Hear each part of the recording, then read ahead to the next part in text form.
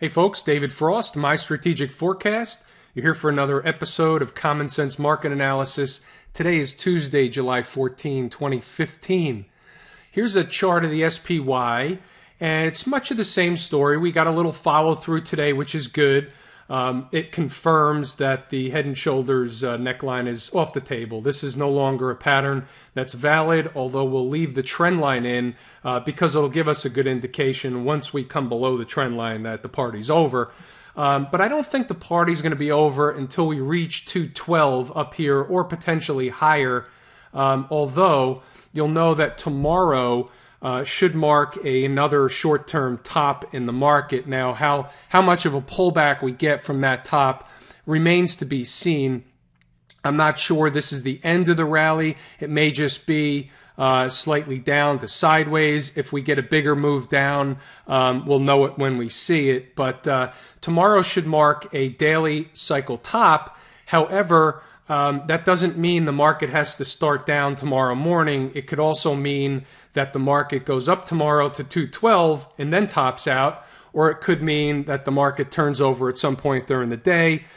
Remember, all these cycle dates that I give you are always plus or minus one day. So it could have topped out today at um, today's highs, and it could top out on Thursday, or uh, on a remote chance, we could blow through the daily cycle top and continue up. But even if we do, um, 212 is going to be extremely uh, valid and good resistance on the upside. And even if we go higher, there's not much more in it from there. So what you'll know is, and this is the bigger picture, this is more important than what happens over the next day or two. What's more important is during the uh, second half of the year for the next, let's say, uh, three to four months, uh, this stuff in here is going to look like child's play. We're going to see lower prices, lower than this. We're going to see a lot more volatility, and we're going to see a lot more whipsaw up and down um, throughout the next few months. When does that all begin? Um, my inclination is that it begins somewhere around now to the next, you know, 10 days or so. Somehow I just have this um, strong feeling that we've got to get up and above or up to the 212 area in the SPY before any of that happens. Uh, coinciding with the ES contract, that number is really in, and around the 2115. In fact, let's give this one a red line also.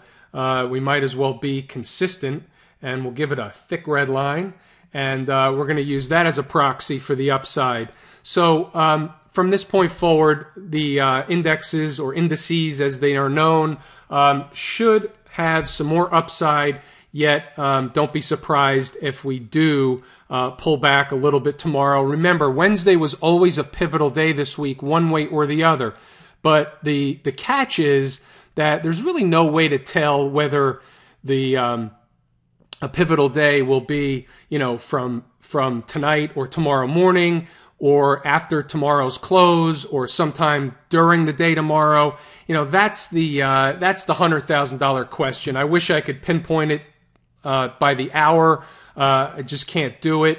But um, as long as we know that um, you know we're we're getting close to another top, even though we just had a bottom last week. Um, you know, you've got to be vigilant and you've got to be aware of any long positions. And uh, you've got to be, if you want to play the short side, the best way to do that is to begin accumulating uh, some short positions. If you play options, then you go out and give yourself some time. Um, uh, August or September, preferably September, would be a good month to uh, accumulate any option positions on the short side. This way, if we do get a spike up to even above the 2115 or above 212 in the SPY, um, you're, you're, not going to get killed, and you've got time on your side because time will be um, will be you know if time's on your side, pardon me, uh, then you know you'll be okay because the market will turn back down. So uh, I hate to give you both sides of the story, but nevertheless, this is a tricky market. I mean, look at what happened down here. This is not an easy market to navigate. Those those folks down here thought prices were going lower. I told you that they were possible to go lower, but this would have been a buy zone. But we were not surprised that prices went higher because we knew that it was a cycle bottom due in here, and that certainly is playing out.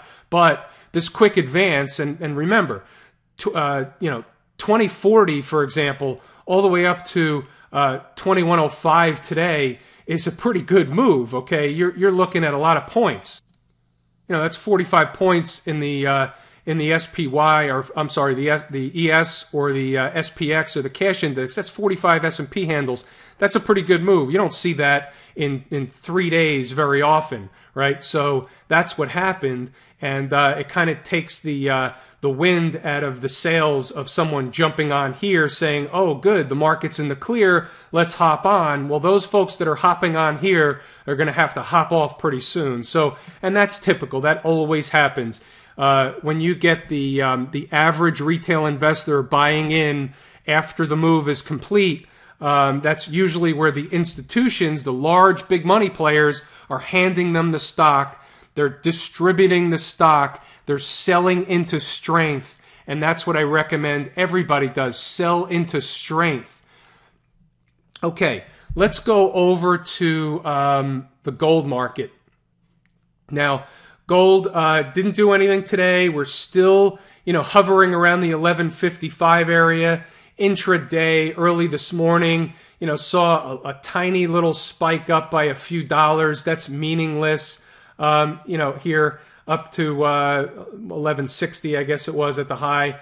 Um, but we're hovering below 1155. So as long as we continue hovering below 1155, in and around 1155, the story can't change. You've got to get some kind of momentum going on the upside uh, uh, over and above 1174 uh, in order for the bullish case to be back on the table. Until that happens, there's nothing doing. In fact, um, you know, if you just want to, here, let me stretch this out, and I want to point something out that's interesting. Um, here, let's let's just draw a trend line in, and you'll see that um, you know this nothing's perfect, but you'll see that until this market can really get above this trend line here, and it's not a perfect trend line, hasn't been hit, hit all all the time. It's just it, it's a it's a it's a capsule that it, it's holding the market in check. It's not me drawing in the trend line. It's the market drawing in the trend line. In fact, let's see what happens. Uh, I'm doing this real time. I, haven't done this um, this particular trend line, um, you know, before I started the video. I'm just kind of noticing it and saying, hey, you know, this is meaningful. Here, that's even better. Okay, so this is meaningful, right? When you see these trend lines, and then and then you can make a case that you're in a channel, right? Uh, something like this. No, that doesn't work. Here, let's let's draw the channel uh, in here. Okay, here we'll just do this. Okay, so so now you're in a channel. All right. So what happens if you work down? Um, if you work down this channel, uh, top end of the channel, bottom end of the channel, what does that do? It brings you down to the 1130 that I was talking about. And I'm sorry, this gold chart and my uh, video and the gold chart or portion of the video is a little choppy, but you know I just did that with you because I spotted the channel real time. I didn't even you know notice that until just now. So that's the way it works. You know you have to you have to look at the charts and stare at them and see what makes sense, see what doesn't make sense. But channels make sense, trend lines make sense, and when you see a trend like this, trend line like this, um, you say, all right. So if you get above you know 1160 for example, then you have a chance at 1174 um, and that's just the way it works. So let's take this out. And uh, there's not much else to talk about gold. What happened with GDX today? I really didn't even notice it all day. I wasn't paying attention to GDX, but um, nothing happened. So we had a pause day in GDX. Uh, and we'll have to see how it plays out. I mean, it's going to be tethered to gold. There's no question about it. You have to get a rally in gold uh, preferably a rally in the market to get a rally in GDX. So, you know, this is also in a, in a steep downtrend. When you see a market like this that's underneath the 20 period moving average, a downsloping 20 and 50 period moving average, the 200 period moving average, you know, it's very, very tough to be long a market like this. You know, even if you take a longer term picture, okay, if you didn't know what chart this was, what would make you buy this chart? Almost nothing, right? What, where is, like, we're at the bottom of the channel, or bottom of the chart here, and below the moving averages, you know, your, this is your last stand right here. If, if you don't hold 1640, then who knows, right? Where's the monthly chart?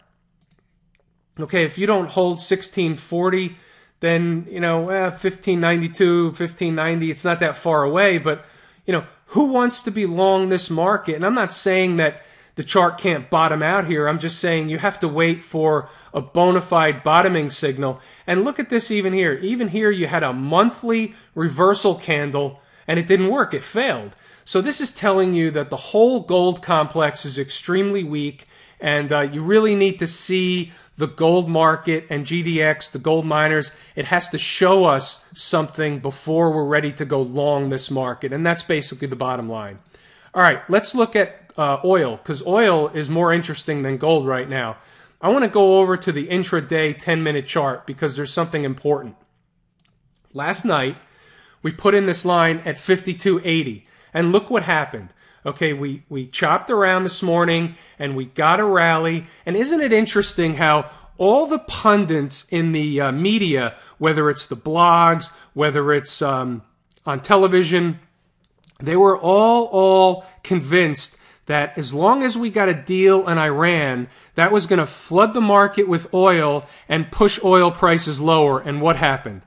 It's unbelievable how they're wrong almost 100% of the time. Okay, the market already priced all that in. Once the news is out, it's a it's a it's a sell on the rumor in the case of oil, buy on the news, and that's exactly what it was. So I drew this 80 5280 in here last night for us, and look what happened. We get above 5280, and look how important that level was. Dip below it, came back, tested it, up, tested it, tested it, and now we're up above it, comfortably above it. So my case is that above 5280, and we did, you know, there's hourly, let's see, let's go to the hourly chart. All right. So you have, um, yeah, your hourly close above 5280. So this is bullish. In my mind, it's going to take a little bit of uh, work to get through the um, 200 period moving average on this 60 minute chart here, but this is the bullish case. And where's your next stop? Most likely right up here at double top at 53.90 uh, and probably pierce through it, go to $54. So anybody that trades the oil futures market, you probably have um, 80 cents on the upside from here. Uh, that's not a bad move. It's about $800 per contract. And uh, there you go, 5280 above 5280 is your bullish case. Back below 5280 is your bearish case. Pretty simple stuff. So I love it when the numbers uh, come come to pan out and they uh, and they work. So I like it when a plan comes together. All right, let's go to uh, the bond market. Okay, we'll look at the TLT. And we had a little bit of an up move today in the TLT, but nothing to write home about. Um, you know, this held one day. One day doesn't make a trend. Uh, I'm looking for higher prices in the TLT uh, certainly higher than this. So we'll see how the next day or so uh, works out, pans out. Um, but again, over the longer term, intermediate to longer term, I'm not expecting this 1543, 11543 to hold uh, many more times. You had a third hit, uh, a third bona fide hit. Uh, you're bouncing off of it now. You did have a cycle bottom. You know, it's it's playing out in a very quiet way right now. So we'll have to see what happens in the bonds in the coming days. Uh, but nothing to do there. There's really no trade right here. I mean, unless you want to be long, I mean, you could. I shouldn't say no trade. You can be long the TLT with a stop out with a close below yesterday's low at 1543, or what was the low? 1539. It's close enough. Um, you can certain, certainly be long with a uh, with a tight stop along those lines. There's nothing wrong with that. That's the way you trade. Uh, okay, natural gas had a little bit of a down day. Um, here's my natural gas. Uh, little bit of a down day, but nothing. We're still above the 200 period moving average, still in an uptrend here. Um, I still think there's higher prices coming in natural gas. Uh, so, you know, if we go sideways for a few days, that's probably the preferred method. This way it puts in a base to go higher. You know, you want to see the market do this. How did that come yellow? It was red last time I looked. Anyway, um, so, you know, the market will, uh, if this happens, you know, maybe we get another up move like this. Um, or uh, if we come back down, then we'll have to reassess. But I'm still looking for higher prices in natural gas as it stands. Nothing has changed on that front. Um, I do want to bring up, uh, well, let's talk about the dollar. I just wanted to bring up uh, one stock in particular I want to talk about. It's important. Um, the dollar had a little bit of a down move today, not, nothing catastrophic. Um, however, tomorrow being the pivotal day, I'm actually looking for lower prices in the dollar also tomorrow. How much lower? Um, let me go to my notes. Bear with me. Okay, uh, dollar. Yeah, so I'm going to put a line in here because um, not necessarily tomorrow, but I think. Oh, you know what? I'm just going to use this line here. Let me get rid of this. Pardon me for doing the work while I'm making the video. I apologize. But sometimes it's okay to do it real time. You get to see how it's done. Um, everybody knows how to draw a line in a chart, I think. Uh, let's see, 90. Where's that number? Dollar. Okay, here it is. 96.15. 96.15. Okay. That's going to be our downside target this week. I don't know exactly which day it will be hit, but I would say that um, beginning tomorrow, you may see a down move to 96.15. Uh, that's not going to take it out of the uh, out of really a bullish position because you're above the moving averages. Um, it's just a pullback, but you'll hear all kinds of stuff like the dollar's collapsing and oil prices up because of the dollar. Oil's not going to be up because of the dollar. Oil's going to be up because it's over the 52.80. But the dollar should pull back over the next couple of days, and my target on the downside is 96.15. Hopefully that helps. Now I want to show you something a little bit different. I don't know or remember whether I've showed you this Apple chart that I've been working with, and I know there's been uh, a couple of members, more than a couple of members, that have been emailing me about Apple, and I'm happy to answer the emails, so keep them coming. That's totally fine. Um, but I want to show you what I'm looking at here. Okay, I'm looking at, let me explain these lines. So this line was the first line I had in here, which was a support line. Um, while Apple was make Apple drew this line in, I didn't draw it in, right? The chart drew this line in. And as we beat on this line, it was telling you that this was an extremely important trend line and that once we broke below this trend line, lower prices were coming. Once we broke below the trend line, I drew in this line, and this was going to be my line in the sand. We had the one, we'll call it a capitulation day, down below 120, bounce back, right above it the following day, and then, you know, next couple of days, here we are. So the question is, can we get above back into this what's called a pennant formation? And I'm not big on the names of these formations, but that's what it is. It's a pennant formation. And um, my upside target for Apple is really no no more than around 130, which is just busting outside the top end of this pennant formation. And um, there was a few members that I gave that number out to um, over the last few days that were long or wanted to be long Apple. So I, I just want everybody to be aware that um, I'm looking to exit up and about this area here on a long position from Apple because I don't see higher prices from there. And the fact that we're going to see lower prices in the overall market, you can bet your bottom dollar that Apple's going to come down with it. Now, I'm not sure exactly when Apple reports earnings. Um, I, I have to look that up. But assuming that Apple reports earnings and the fact that the market is probably going to be rolling over around that time, you're going to hear that Apple's earnings were disappointing for some reason or another. They didn't sell enough um, iWatches or they didn't do something right.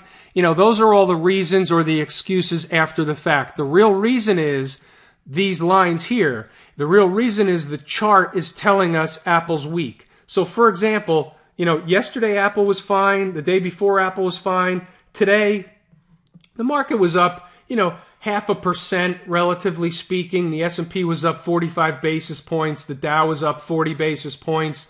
Um, the Nasdaq was up 66 basis points, almost uh, or two thirds of a percent. But um, Apple was flat and uh, and that that's that should be concerning because Apple, if Apple's not a market leader, then who is? Okay, let's look at another market leader just just for kicks here. Amazon. Amazon had a good day, right? But how much higher do you think Amazon's going to go than this number here? So here we are, we're at new highs, okay? How much higher do you think Amazon has? Maybe $5? Um, I don't see it, and and I'll, let me let me go through this with you. I've done this before. This works more often than it doesn't. You see this big up candle here, okay? The up candle had a low of 377 and a high of uh, 452. So this is about $75, okay? So then what I do is I take the low point of this consolidation pattern here, and this is a weekly chart. So this is going sideways for 1, 2, 3, 4, 5, 6, 7, 8, 9, 10, 11, 12 weeks. We break out, and $75 from this low point here, which is uh, 414 brings us to about what 488 89 i'm doing quick math in my mind um, so so you know that's the absolute top end i could see and that's you know 25 or 24 dollars from here. But i find it hard to believe we can go up 24 25 dollars from this point unless um, at some point you get Amazon earnings and the market wants to uh, blow it up to that number. But that would be that would really be the only short I would take in Amazon if we got up there. I would probably entertain a short with a tight stop up at about 489. Um, but I don't think we get there. So that, I'm just giving you kind of two things in one. I'm giving you uh, the top end. I'm not long Amazon or anything. I'm just giving you the top end of Amazon because it's another, you know, market leader, but I'm also explaining how I derive some of these price levels when there's really no chart pattern to be had or you can't it's very difficult to determine how high a stock will go. So I use alternative methods and they, they work out most of the time. It's not an absolute. It's not a perfect science, but it works out most of the time. Okay. Um, so, you know, here we are. I just don't see the only way I see Amazon going higher from this point is if we, maybe we put in, um, you know, some a pullback pattern, maybe some sideways, uh, you know, sideways days here. This is back to the daily chart, you know, kind of something like this. Retrace some of this move, and then maybe there's another up move coming. That's about the only way I see much higher prices in Amazon. Um, just to give you a clue on that one more stock I'll talk about today, just because it's a fun uh, discussion. Um, let's talk about Twitter, and I want to show you the intraday chart because um, you see what happened here. Twitter began to rally, and it spiked higher, and it spiked higher on a false. A, it was a false rumor. B, it was actually a false press release or news report that somehow made it onto the news wires. And you'll notice that every single month this this week meaning options expiration week which is this week is notorious for that kind of nonsense. So when you find that you're long a stock like this, if you're long a stock like this and you see this kind of stuff going on, it's a great time to take some profits off the table because it's usually false. It's usually game, game playing. I don't know how this stuff happens. I don't know why the, the media reports on rumors. I don't know how you get a phony press release on the news wires. It's just unbelievable how this happens month in, month out. Um, you'll probably see a rumor on something like lumber liquidators. You'll see a rumor on, uh, you know, some other stuff that's beaten down, or you'll see a rumor on stuff that's up big. It happens month in, month out. Last month, we saw a sniff of a rumor of lumber liquidators being bought out by Home Depot. Don't be surprised if that cycles back around this week. Um, so, just for fun, little ordinary stuff. Um, I think that's about it. We're going to give it a wrap there. Um, hopefully, it's helpful, folks. Any questions, shoot me an email. I'm David Frost, my strategic forecast. Thanks for tuning in for another episode of Common Sense Market Analysis.